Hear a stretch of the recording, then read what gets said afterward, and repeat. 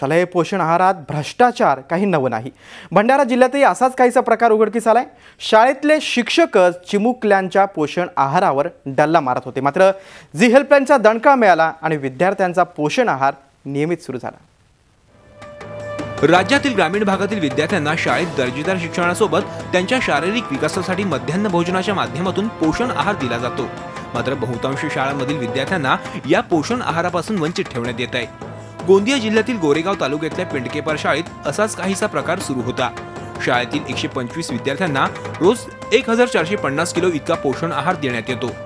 मात्र संबंधित कंत्राटदारांना वेळेवर बिलाची रक्कम न मिळाल्यानं डिसेंबर ते जानेवारी या दोन महिन्यात शाळांना मिळणारा पोषण आहाराचा पुरवठा थांबवण्यात आला. शिक्षण विभागानं संबंधित शाळांना सूचना करत दुसऱ्या शाळांकडून तात्पुरता पुरवठा घेण्याचे निर्देश दिले. मात्र तसा पुरवठा करूनही शाळेच्या मुख्याध्यापकानं पोषण आहारात भ्रष्टाचार केल्याचा आरोप गावकऱ्यांनी केलाय. त्या शिक्षकांना विचारलं पाटील सरांना का सर एक जानेवारीला एक जानेवारी ते तेवीस जानेवारीपर्यंत पोषणा वाटले का? तर पाटील साहेब म्हणाले की हो. बाकी शिक्षकांना आम्ही विचारले असता त्यांनी म्हणाले की आम्ही वाटलेच नाही. पोषण आहार होतीच नाही आम्ही वाटलं करून. आणि ज्या बाया सर स्वयंपाकी त्याही सांगत आहेत की बी आम्ही एक ते तेवीसपर्यंत वाटलाच नहीं. कैसा एक दिन आए थे तो यानी जनवरी महीने में यहाँ पे पोषण आहार आया ही नहीं. लेकिन पाटिल सर ने कैसा है वो मेरे ख्याल से पंद्रह या बीस दिन का पोषण आहार का पैसा यानी अपने बच्चों को खिलाए करके रिकॉर्ड मेंटेन की। पोषण आहार खरेदी करता आवश्यक असलेली रक्कम मुख्याध्यापकांच्या खात्यावर जमा करण्यात येते. त्यातून रक्कम काढून ती वापरात आणली जाते. याचा हिशोब मुख्याध्यापकांकडे असतो. त्यामुळे या प्रकरणात सुद्धा येथील मुख्याध्यापक जे एल पाटील यांनी गुप्तता ठेवत पोषण आहार गडप केल्याचा आरोप ग्रामस्थांनी केलाय.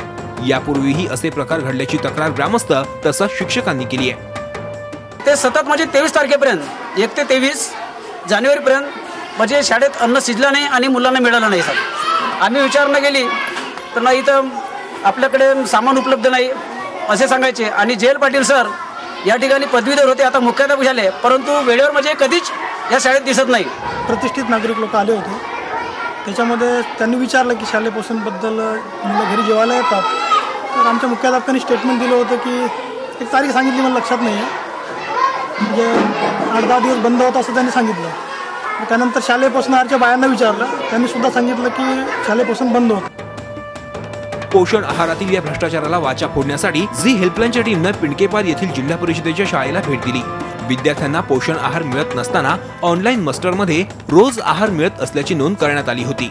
शाळेतील जागरूक शिक्षक तसंच गावकऱ्यांनी या संदर्भात शिक्षण विभागाकडे तक्रारीही केल्या. या तक्रारींचा पाठपुरावा करण्यासाठी झी हेल्पलाईनच्या टीमनं गटशिक्षण अधिकाऱ्यांची भेट घेतली. या प्रकरणी चौकशी करून तातडीनं कारवाई करू असं आश्वासन त्यांनी झी हेल्पलाईनला दिलं. त्या मुख्याध्यापकाचा हेतू पुरस्परपणे आणि अशा प्रकारचं अ, डाव साधलेला आहे. आणि म्हणून आम्ही तसाच अहवाल जिल्हा परिषदेत सादर केला. आणि तिथून आम्हाला वरिष्ठाकडून आता पुन्हा मागणी आलेली आहे की याचा आता याप्रमाणे जे दोषी असल्यामुळे याचा आपल्याला पूर्ण जे डॉक्युमेंटेशन करून पाठवायचं आहे. झी हेल्पलाईनच्या दणक्यानं गटविकास अधिकाऱ्यांनी या प्रकरणाची गंभीर दखल घेतलीय. मात्र केवळ चौकशींच्या आदेशांवर झी हेल्पलाईन समाधानी होणार नाही. या प्रकरणातील दोषींवर कारवाई होईपर्यंत झी हेल्पलाईन याचा पाठपुरावा करतच राहील. Madhav Chandankar Zee media Gondia. Zee चोवीस तास. रहा एक पाऊल पुढे.